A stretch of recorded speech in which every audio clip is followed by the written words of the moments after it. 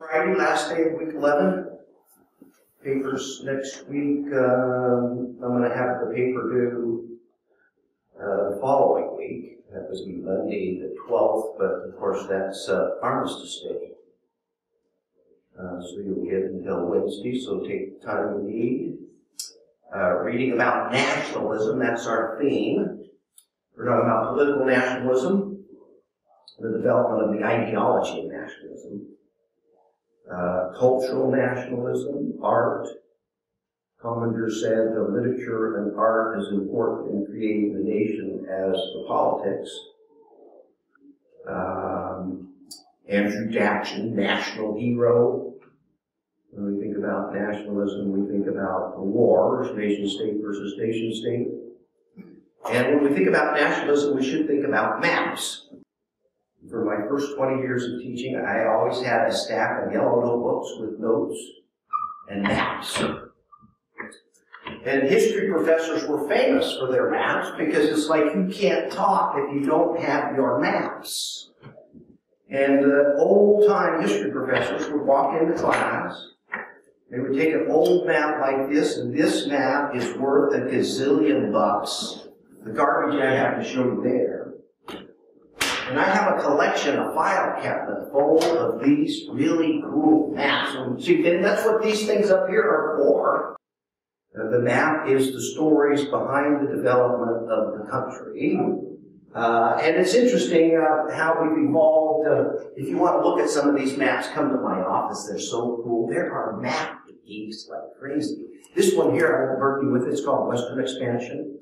I have them on the Roman Empire. This one's on the Mexican-American War that we're going to talk about here a little bit today. This map is a thousand times better than the map I'm going to show you, but oh well, we'll be D-minus kinds of people. Isn't that cool? You want one of those? I wonder if they're working me. They were given to me when I came to CSI because they're worthless, but not for me. Uh, I'm working on a Rock Creek project. And yesterday I was reading about Rock Creek and I came across a map produced of Rock Creek in 1840s by John C. Fremont, who was one of the first people through the Magic Valley. And he brought along with him a map maker, cartographer, cartographer, cartographer thank you.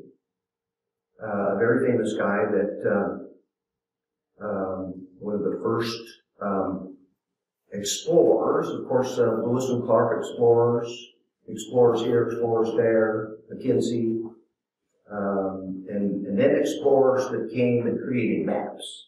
Now that map was really important because it was created and produced and distributed uh, for people coming out on the Oregon Trail.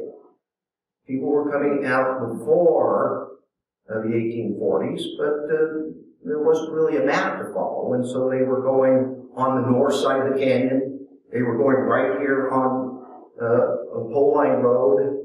But mostly what they would do is to go over to um, um, uh, the Cedars of Milner Dam.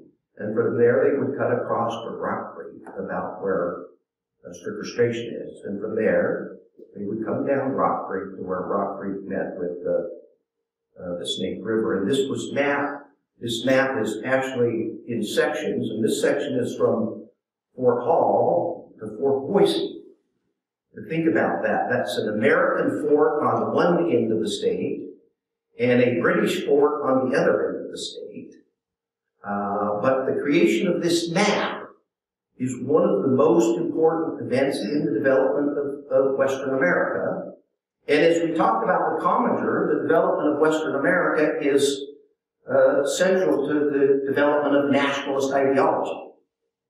Uh, that is, we uh, acquire territory in remarkable fashion, and that gives birth to an idea of manifest destiny. We talk about American expansion uh, uh, in the 20th century, and that's taking places outside of the continent, uh, imperialism.